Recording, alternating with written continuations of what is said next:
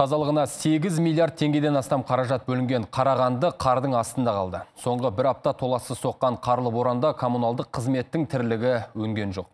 Тек бүгін күн шайдай ашылғанда ғана қар тазалауға толыққанды кірісті. Бірақ қала ортасында жұмыс істейтін 70 шақты техника тау боп үйілген қарды шығарып үлгере алмай жатыр.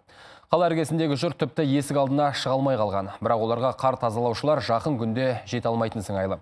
Қарамағындағылардың қарға қауқар көрсете алмағанын облыс әкімі Жеңіс Қасымбек те мойындады. Раиса Алексеевна орталықтан ары кетсе төрт көше қашықтықтағы жер үйде тұрады. Жалғызбасты тұрғынның көмекке шақырар ешкімі жоқ. Сондықтан неше күннен бері ауладағы қарды өзі күреп қалбалақтап жүр. Өйткені бұл көшелерге қар тазалайтын техника атаулы келмейді. никогда не чистили. Біздің көшені өмірі ешкім тазалаған емес. Өз күшімізбен тырбаңдаймызда жатамыз. Бірақ соңғы боран титықтатып жіберді. Алғашқы күні ақ сыртқы есігім ашылмай қалған. Содан бері күнде қарды көшеге шығарамын. Бірақ қазір көшеде де қар төгетін орын болмай қалды. Көктемде ерсе судың астында қаламыз. Күрек ұстауға қауқары жоқ жалғызбасты жандардың үйлері қарға әбден көміліп қалған. Шамасы барлары сондайларға қол ұшын берген болады, бірақ елдің көбі өз ауласын тазалаудан титықтап жүр. Мұндағы көшелердің көбі мынадай жалғыз аяқ жолдарға айналған.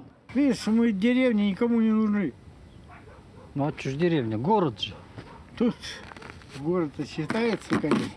Ал гүлденген қаланың орталық көшелері бүгінге дейін жүріс бермеді. Өйткені боранды күндері коммуналдық мекеменің қолда бар техникасының бәрі жұмылғанымен жұмыс өнбеген. Алай дүлейде бар жоғы білінбеген техниканың жұмысы бүгін ғана көзге көріне бастағандай. Оның өзінде таудай үйілген ақ алысу оңай болып жатқан жоқ дейді. основной мынау қазір мынау центральный көшелерді бірінші очередьте аламыз ғой бірақ біз э, шеткі көшелерді ұмытпаймыз ол жақтардың бәрін сыпырылады э, автогрейдер нетеді сыпырамыз но оған бәрімізге енді может быть мүмкіндігіміз жетпейтін шығар. Бір екі күнде үш айдың нормасы жапқан деген. Өте қиын.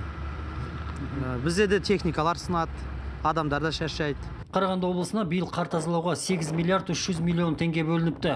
Жұмыстарға 52 мекеменің 800-ге тарта техникасы жұмылған екен. Алайда соңғы 2-3 күн соққан қарлы боранда миллиардтар мен мақтаулы техниканың қауқары көрінбеді. Қалада қоғамдық көлік қозғалысы тоқтап, аялдамада автобус күткендер үйлеріне жете алмай шулады. Қар құрсауында қалғандарды да шығаруға жолдағы жұрт жұмылып, өз қотырларын өздері қасыған. Тұрғындардың наразы болатындай жөні бар екенін Қарағанды облысының әкімі Жеңіс Қасымбек те мойындады. Шенеуніктерді шұғыл жинаған ол жауаптыларына біраз шүйліккен болды. Сондағы ойлап тапқандары болса керек, боранда челлендж бастап, қала тұрғындарының өздеріне қар күреттіріп алған еді. Енді қаланы қардан тазалау жұмыстарын қатаң бақылауға аламыз дейді биліктегілер.